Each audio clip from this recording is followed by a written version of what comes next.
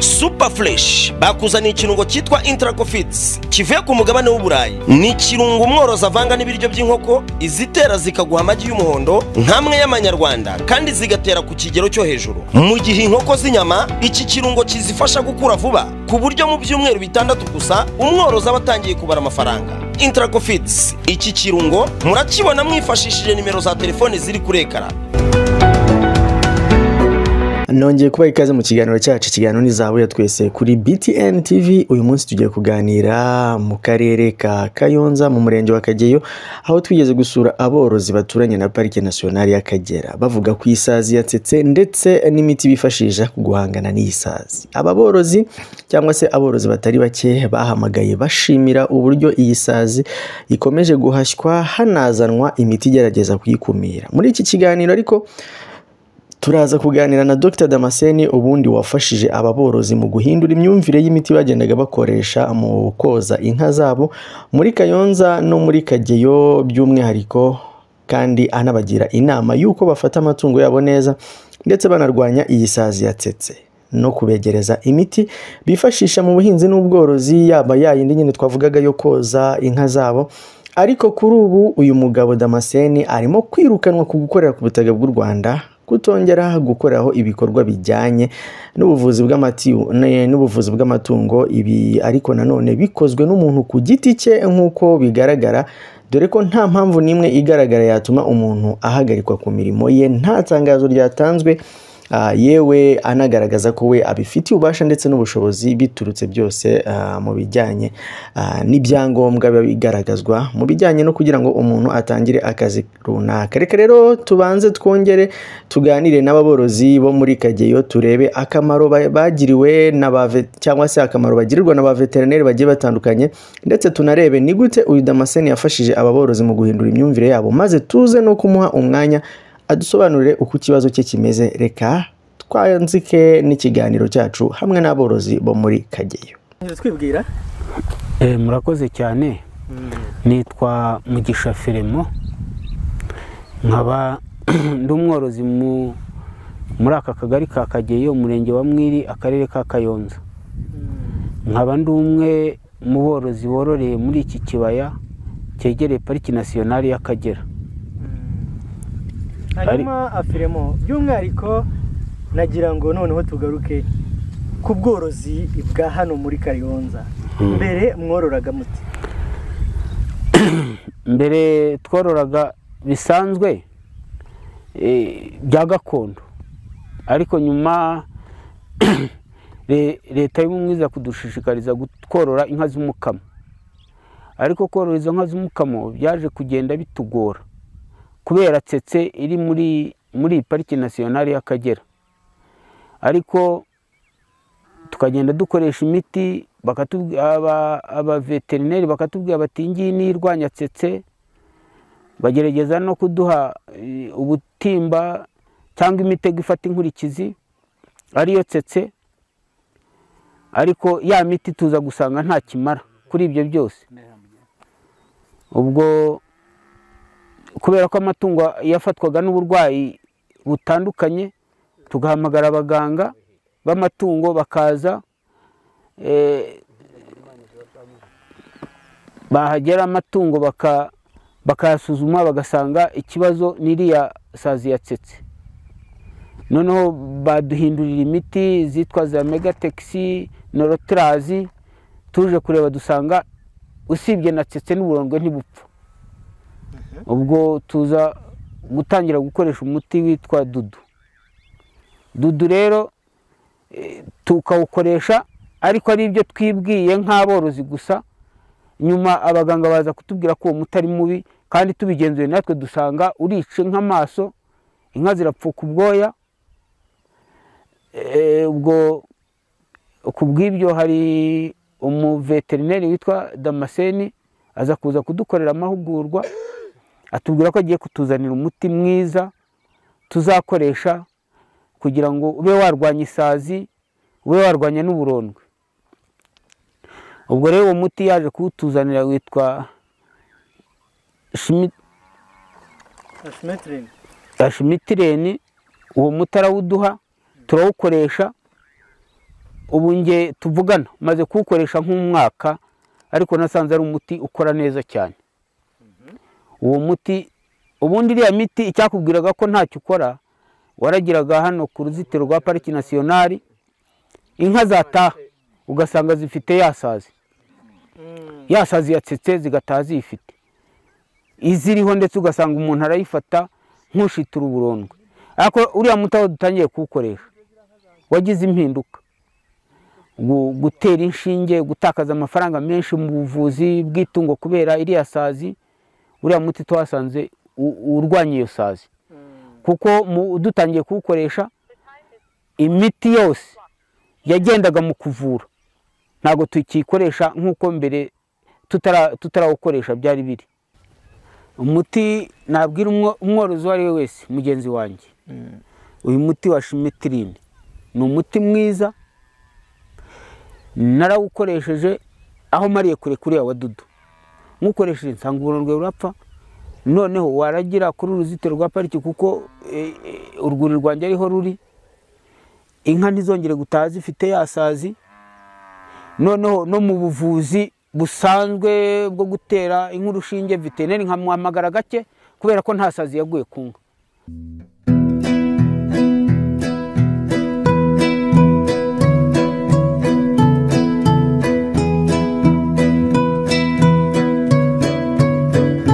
Nitwa shumbusho david ntuye mu kagari ka kageyo umurenge wa mwira akarere ka kayonza. Mm. david turimo kuganira ku bijyanye n'ubworozi. Ah, ubworozi mwakoraga cyangwa se ubworozi mukora kuri ubu ubworozi bw'inka. By'umwihariko umwororeye hano mu gishanga cyangwa se mu kibaya cya kageyo.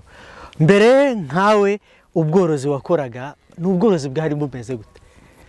Ubworozi twakoraga twavutse dusanga inka za gakondo aba ari nabwo tubyirukiramo tubyirukira muri ubwo tumenya ko inka ari izo ngizo nta kindi kintu ushobora gukora. Ariko uko imyaka igenda iza twinjira mu iterambere twaje gusanga ubwo bworozi nta mumaro butumariye cyane ko nta musaruro bwatangaga. Mbere bwagiraga umusaruro kubera ko abantu bororaga amatungo menshi bafite n'aho bayororera. Noneho uko ubutaka bugenda buba butoya rero biba ngombwa yuko dutangira kujya tugenda twinjira mu bworozi buvuguruye ari bwo bw'inka za kijyambere zibasha gutanga n'umusaruro. Ariko noneho tuza kubangamirwa n'agace dutuyemo urabona ko twegereye ishyamba rya pariki y'akagera kuva ahangaha ugera muri pariki ahangaha nta na metero magana abiri zihari ni hafi cyane. Hakaba harimo isazi rero yitwa tsetse bituma tutinjira neza muri ubwo bworozi bwa kijyambere butanga umusaruro dusa n'abakomeje kwibanda muri ubwo bworozi bwa gakondo ariko nanone budafite inyungu.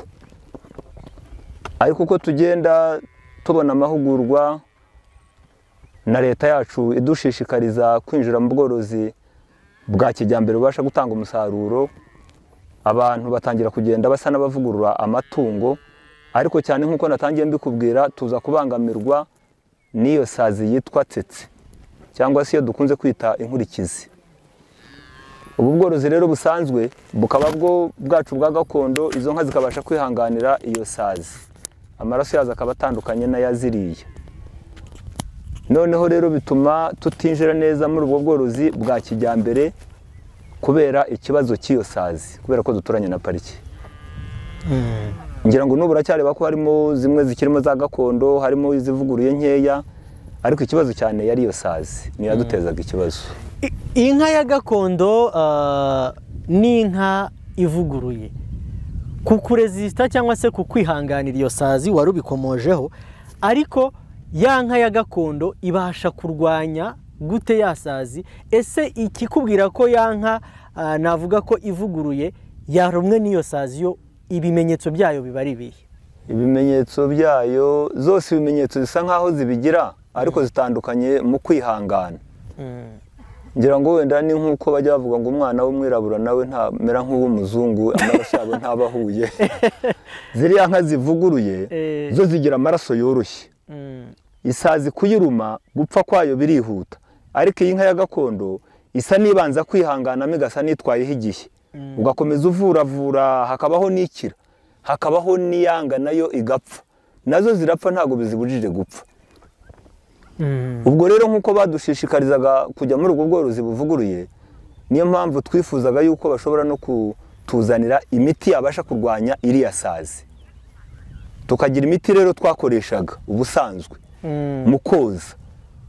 Amiterazi amitekisi ariko uwo muti wamara kuwogesha nubwo wabaga umaze kuwogesha uwo mwanya ntibibuze yuko ya sazi uyibona ku nka ndetse n'iyi sazi yindi isanzwe hari isazi yindi isanzwe idatera uburwayi ariko na yo iruma inka Mm. uku nguku ureba inka ziba zikubita inka yikubita umurizo Mm. iyo ni isazi isanzwe ariko atari yayindi itera uburwayi ariko na yo ibabaza inka kubera ko iyirya Mm. ugasanga ya miteri iyo ngiyo ya miterazi ya mitekisi twarayikoreshaga ariko ntibibuze yuko na ya sazi yirya ari ya yindi yatetse ari ya sazi yindi isanzwe zose n'ubundi zikarya aya matungo.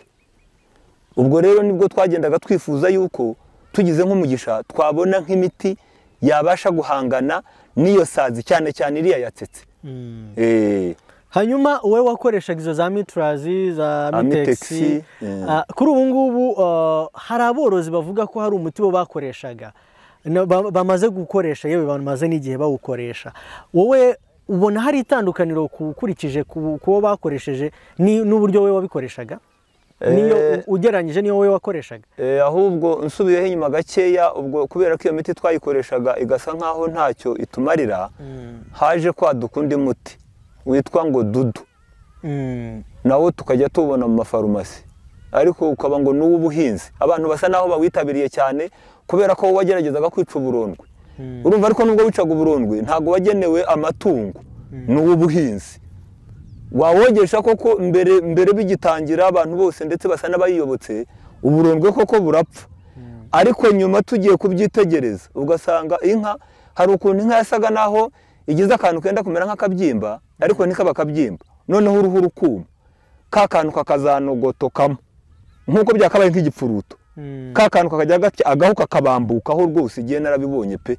Inka ugasanga ifite ubuntu bw'ubudomagurike uruhu rwaragiye rubambuka kubera wa muti wa dudu.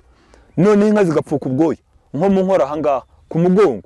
Ibintu tuza kubimenya ibintu bya inyana ntoya zi- zikuma. Inyana ikuma ntibyibuhe kandi yonka ubundi wasangaga abantu bafite inyana nziza inyana zikuma. Eh, tugiye kureba dusanga ni wa muti dudu ahubwo noneho twimariye amatungo amatungo arashize. Kubera dudu. Noneho turayireka na yo.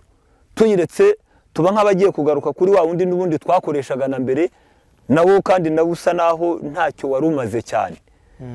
Ariko nyuma nza kumva undi muti yewe na yo ntarawukoreshaho. Ariko ndawumva uwawukoresheje ni we wabimbwiye.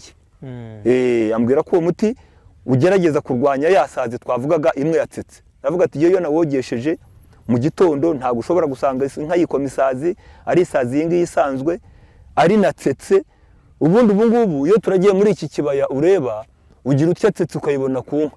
Turazifata buri munsi. N'ubu hari aho na yo narayishyize ku giti hariya ninza kuyibona ndaza kuyikwereka.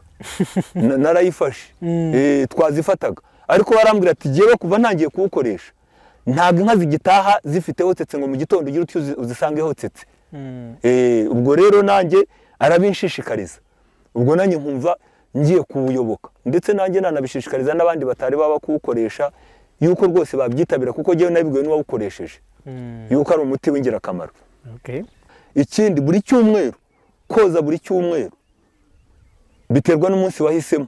Hari uwakoza ku wa mbere hari uwakoza ku wa kabiri hari uwa- gatandatu ku cyumweru. Ukunze gusanga mbere twoza buri wa gatandatu buri wa gatandatu. Ubwo nguko uko itungo umuntu aryitaho. Ikindi rero kurivura. Cya gihe ryarwaye. Eh, hari ibyo tuba dushoboye kwikorera ariko nanone hari igihe itungo rigera aho ngaho ukareba ko utakibishoboye. Ubwo ukitabaza veterineri. Eh, ababyigiye ababigize umwuga. Eh, turabafite bajya badufasha. Hari n'umuntu twanashimira wenda wabashije kugerageza no kutuzanira n'iyo miti. Hari umugabo witwa damascene. Ni ukuri ni umuntu ugerageza kwitabaza n'iyo ibintu byakuyobeye hari ukuntu itungo rirwara ukareba rwose ukareba birasa naho bikurenze wavuye imiti yose wayikoresheje. Ariko iyo ugerageje kumuhamagara hari ukuntu aza agafatamo ibintu by'ibizamini. Akavuga ati noneho koresha uyu nguyu. Ugahinduraho ku miti. Ubwo wahinduraho ukabona itungo ryawe rirakize. Nguko uko itungo rigomba kubaho rero icya mbere rigomba kurisha rikoga ubwo ni nk'uko umuntu yiyuhagira nawe akenda kwiyuhagira buri munsi. Rikarya umunyu Eh, rikavurwa ryarwaye. Okay. Eh, hanyuma aborozi bagenzi bawe rero noneho ubu ngubu urimo kuvugira kuri btn aborozi bakurikiye eh, bagenzi bawe bakurikiye btn urabasaba iki? Kugira ngo ubworozi bwabo nabo bugende neza. Icyo mbasaba reka mbanze nshimire na btn twajyaga tuyumva tukanayireba nyishimire yuko yabashije no kuza kudusura. Mm, murakoze. Eh, n'ubutaha izongera igaruke no kuza kudusura wenda bitari no mu bworozi no mu bindi no itegure n'izindi ngendo zindi no mu bindi biganiro izaze kudusura. Aborozi icyo nabashishikariza rero niba hari umworozi utaragera kuri ibyo bintu utarakora ibyo bintu ibyo ngibyo mbashije kuvuga. Itungo rye yumva ko nyine itungo ribaho rityo nk'uko tujya tubonayo muri pariki. Kuko ayo muri pariki tuyabona riba ryiragiye ubwo rirwaye ntawe urireba niba rero hariho ucyumva yuko itungo ari ikintu cyo gushyira aho ngaho gusa ku musozi wenda tubwo ibonye ubwatsi ibyo ngibyo bi- birahagije ntabwo bihagije. Itungo ni ikintu gikenerwa kwitaho kuko ni itungo nyine utunze. Nk'uko nawe wiyitaho ubwawe n'itungo naryo rikeneye kwitabwaho nk'uko nawe wiyitaho. Ukarireba cya gihe ryarwaye cya gihe cyo koga wa munyu ntubureho hari imiti y'inzoka kuko zijya zirwara n'inzoka ibyo byose ni ibintu dukoresha. Hari abo usanga rero batabikoresha ubwo nabashishikariza kuvuga ngo nibagerageze kwita kuri ayo matungo yabo.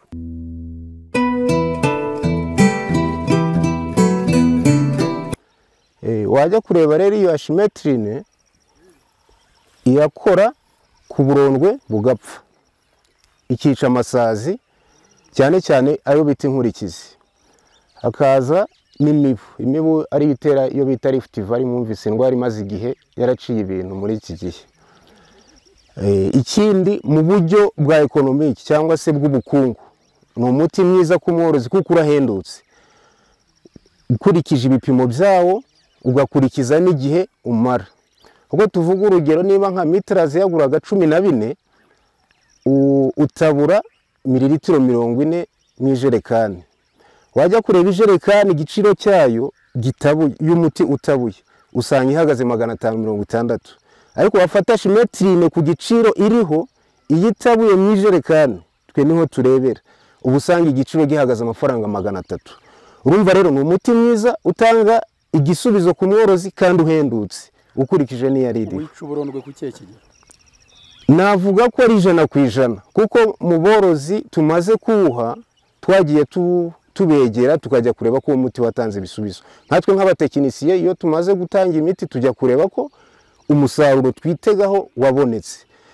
Abo twagezeho rero cyane cyane abegeranye na pariki y'akagera ku bintu bijyanye na tsetse nta kibazo bagifite cyane. Wajya kureba ku burondwe abogesheje bwarapfuye ijana ku ijana.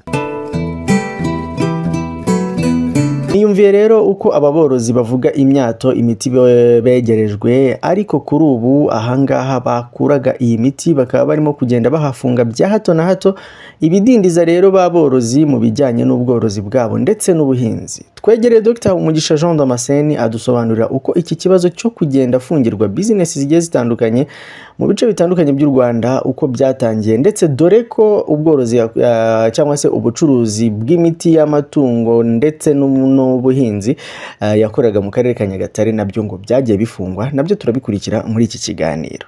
Akoze nitwa Dogiteri Musha Jean Damascene nkaba ari njye manager wa kampani yitwa Coraveti twaje kugirana ikibazo n'umukozi w'urugaga. Umukozi w'urugaga tugiranye ikibazo kubera imyitwarire ye afata umwanzuro wo kunyangiza ibikorwa byanjye ariko bitewe n'imikorere ye mibi. Iyo mikorere ye mibi na yo igaragarije urwego rw'urugaga. Urwego rw'urugaga aho kugira ngo rusubize we ajyana amakuru avuga ko nta byangombwa mfite byo mu rugaga rw'abavuzi b'amatungo. Mu by'ukuri diporome ndayifite. Ariya ade na azero nkagira icyangombwa cyo kwiyandikisha mu rugaga rw'abavuzi b'amatungo. Nkagira layisensi mu mwaka wa bibiri na makumyabiri na kabiri na yo mfite layisensi narayishyuye. Fotokopi irahari yo muri beka. Ari abakozi banjye ari abakorera akageyo layisensi barayifite kandi nibo bayitanze bampa uburenganzira bwo gukora. Ariko nyuma kubera amakuru ye witwa mugabe jean nawe afite bizinesi akora muri kayonza ashaka gusenya izanjye yagiye guhera nyagatare. Abanza gukora ububasha afite asenyera nyagatare. Arahafunga. Araza akajyayo nabwo akahafunga. Kandi mu buryo butemewe n'amategeko. Mu, mu buvuzi bw'amatungo iyo ufunga farumasi ugomba kuba uri hamwe n'urwego rwa leta. Ikindi ukamenyesha umuntu ko ikibazo afite. Ibyo byose rero yaraje aza gufunga farumasi nijoro. Aho bita kageyo afunze nijoro urumva abakozi baba batashye. Kandi ubu kugeza ubu umuntu uri mu rugaga wicayemo ni we waje kunsura bwa mbere. Banyandikira ibaruwa bavuga ko ntaba mu rugaga ndetse naciye n'ingufuri ariko mu by'ukuri nta ngufuri yacitswe kuko igihe afunga namwohereje amafaranga kuri momo. Ibyo historiki irabibona.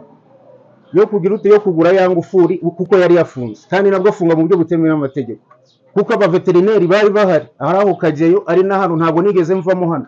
Abaturage ngaba uwavuga ko ntaba hano yavuga ko wenda mbeshye. Arabafungira abo baveterineri barahari abona akoresheje bose nta n'umwe utanditse mu rugaga we ahigira ko agomba kunyimura mu gihugu. Ariyo mpamvu wanditse n'iyo baruwa ivuga ko ntagomba gukorera ku butaka bw'u rwanda. Diporome nayihawe n'igihugu. Urumva? Hano ndishyura ipatanti nishyura n'ibindi byangombwa aha mu- cyumweru cyashize rika yaraje. Abantu barabizi. Imodoka yaparitse aha ngaha. Baraza baradusura batubwira inama y'uko tugomba kwimuka tukava aha ngaha kubera hegeranye n'ibyo kurya. Imiti itagomba kujyana n'ibyo kurya. Twafashe umwanzuro tujya gufata inzu hariya haruguru. Aho inzu irahari ikorerwamo. Kugeza ubu rero ngewe nifuzaga ko uwo muntu ngendaho iki- ikintu yashingiyeho. Ankura ku butaka bw'u rwanda kandi ndi umunyarwanda noneho agahengera naho mfite depo n'ibindi bikorwa byanjye akajya kubisenya. Nkaba nifuza ko umuntu wese bireba yaba minisiteri y'ubuhinzi n'ubworozi yaba ribu kuko ntabwo nkwiye gutotezwa ndi umunyarwanda nk'abandi. Ikindi mfite ibyangombwa bibinyemerera gukora. Nta tungo nishe nta muntu nahemukiye. Damascene rero reka tumushimire cyane kubwo kutuganiriza tubwira kuri kino kibazo uko kimeze ariko ngo ingaruka ntabwo zagize Damascene gusa n'aba borozi kuko umugore wa Damascene we avuga ko yafashwe ku nda kuko ubu ngubu muri Kayonza aho bafunze kuri ubu ariho we yari afite depo imufasha gukora ubucuruzi bwe bwa buri munsi mu bijyanye ah, n'inyongeramusaruro cyangwa se n'imiti yifashishwa mu bijyanye n'ubuhinzi ndetse n'ubworozi. Dore ko nawe avuga ko ikibazo cyamugizeho ingaruka kuko ahubwo we yumva ko yakabaye anahabwa impozamarira ku gihombo yatejwe cyangwa se ku gihombo batejwe n'uwakoresheje izina rye agakora ibihabanye n'amategeko ndetse avuga ko ari umucuruzi kandi anasorera igihugu nta kibazo ubundi afitanye n'inzego bwite za leta. Niba avuga ko imiti y'ikiveterineri irimo umutware wanjye ni dogiteri veterineri. Afite ibyangombwa byose. Yaba layisensi yaba diporome icyangombwa cyose aragifite. Ni dogiteri veterineri amuhohoteye gute? Afashe diporome ye ayishanyuye gute? Ni muntu wo gushanyura diporome y'umuntu icyangombwa cy'umuntu? Ngo agishanyure agi- agikandagire ajugunye. Nta ntabwo nta busobanuro njye mbona nabiha kuko ni akarengane karenze no kurenganwa. Eh, karenze no kurenganwa nta nubwo numva ko ibi bintu byakabaye bikibaho muri iki gihugu. Ndababaye ndababaye niba ahantu nahahahiraga nkaba nari guhaha hejuru y'amaherere nasaba ko mwandenganira Nubwo ibi byose byabayeho ariko na bamwe mu baveterineri bigenga bavuga ko ubundi bitagakwiriye ko umuntu akoresha imbaraga z'umurengera kugira ngo umuveterineri mugenzi wabo akurwe ku mirimo ye bitewe na munyangire cyangwa se ihatana riba rigaragara ku isoko ry'umurimo. Eh, mpageze mbajije amakuru nsanga hari umukozi wa RCVD bita Mugabe ari kumwe n'abapolisi nyuma Damascene sinamubona mbona abapolisi bari gu- bari kuzenguruka bavuga ngo se nta yindi stock afite nyuma no guhita nigarukira hano. Nyamara kubona uko bimeze. Nyuma yaho sinabitinzeho eh, nk'umuntu bizwi ko arijye mpagarariye urugaga hano mu murenge wa Kabarondo gishinzwe abaveterineri bahakorera. Nibaza impamvu nakozwe Eh, nari ntafiteho amakuru nkanasohoka mpuruye ahubwo. Nagera ngasanga ni urwego dukorana ahubwo ruri ruri gukora icyo gikorwa ahubwo nibwiraga yuko twanakwiye gufatanya kugenzura abaveterineri abatujuje ibyangombwa tukabagira inama ababyujuje tukabereka n'uko bagomba kwinoza. Amakuru nuko nayumvise.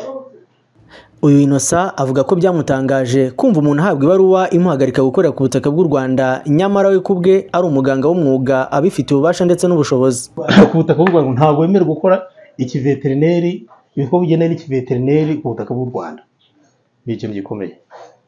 Biramutse ariko byagenze nahasaba ko yarenganurwa cyangwa se bakagaragaza icyo baba barashingiye kugira ngo bavuge ngo diporome yawe tuyiteshe agaciro ngira ngo ahari kuyitesha agaciro si bwo byakagombye gukorwa n'inama y'abaminisitiri yayimuhaye eh inama yateranye ikayitanga ni na yo ikwiye kubisuzuma ikayitesha agaciro sinumva rero yuko kuba niyo basanga adafite ibyangombwa ntabwo bamwereka inzira yacamo akabikora ko ntabwo ari inzira yo kuvuga ngo. Itesheje agaciro. Iyo numvise bimbabaje. Ubwo turasaba yuko ababishinzwe abashinzwe ubugenzuzi yaba urugaga yaba rika ko bazajya badufasha bakamanuka badafite imbaraga badafite ubukana burebure cyane bakatugira inama bakatwereka ibigomba gukorwa. Ubundi rugaga rw'abavuzi b'amatungo mu rwanda bigaragara ko ari bo basinya kuri izi mpapuro ziba zatanzwe zihagarika cyangwa se zimenyesha ikosa umuntu aba yakoze.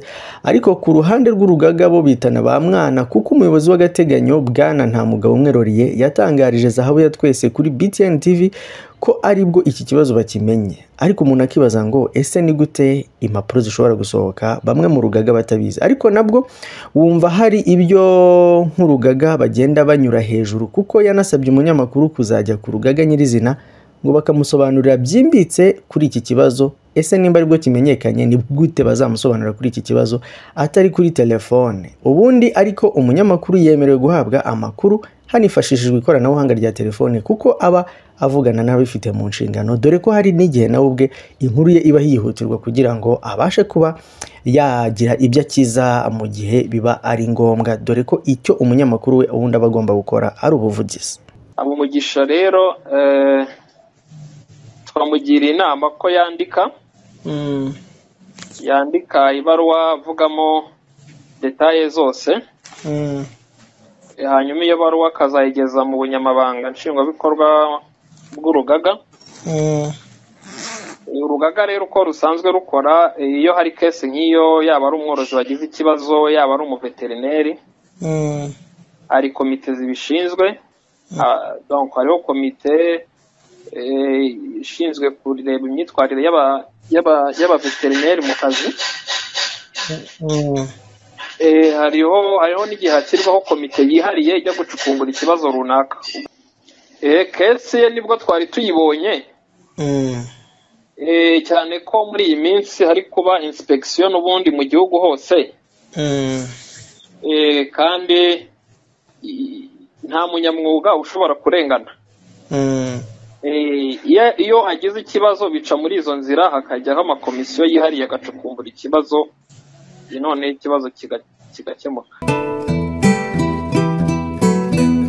Mwumvisha uburyo twaganiriye n'aba borozi muri iki kiganiro ndetse tunumvisha uburyo iki kibazo cya muganga damascene kimeze. Umuntu hano yakwibaza ngo ese biramutse bigaragaye ko akarengane kakorwa cyangwa se akarengane kakorewe uyu muganga ku giti cye? Ese aha ribu biramutse bigaragaye ko koko ari akarengane ribu yabyinjiramo ndetse n'inzego bwite za leta. Uwaba se yakoze ikosa we yahanwa cyangwa se yagezwa imbere y'amategeko. Ese ni ryari umuntu ahabwa impozamarira? Ubundi ntitubimenyereye cyane mu bijyanye n'ubuhinzi n'ubworozi. Ariko nabwo hano bimaze gutangira kugaragara ko harimo ihangana ku isoko ry'umurimo hatangiye kuzamo nka bimwe tujya tubona ku bijyanye na bamwe bakora eh, imyidagaduro ubundi ni ho tuba tumva bifu zigiye zitandukanye cyangwa se ihangana rikomeye mu bijyanye n'ubucuruzi. Reka rero ikiganiro cyacu cy'uno munsi tugicumbikira ahangaha.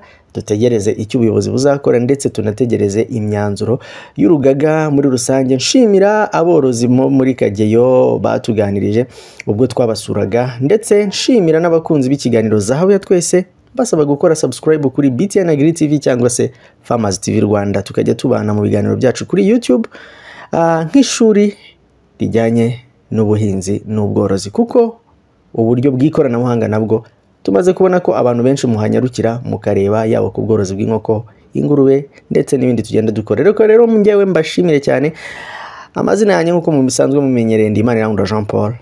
Bye bye imana ikomeze kubaha ishya n'ihirwe tuzasubira mu biganiro byacu by'ubutaha.